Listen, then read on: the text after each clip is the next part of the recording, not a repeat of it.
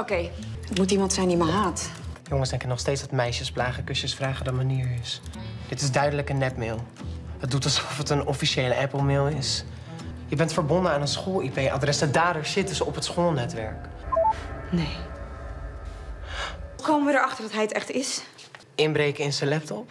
Hij is een informatica-leraar. Dus, hoe gaan we het doen?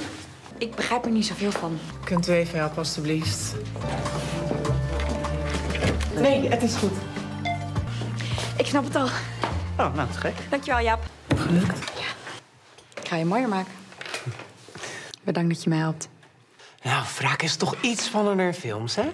Of hij het nou is of niet, ik wil niet iemands privacy schenden zoals bij mij gedaan is. Hij is het niet.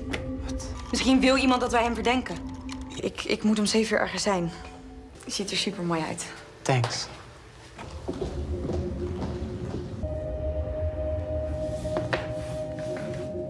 sex.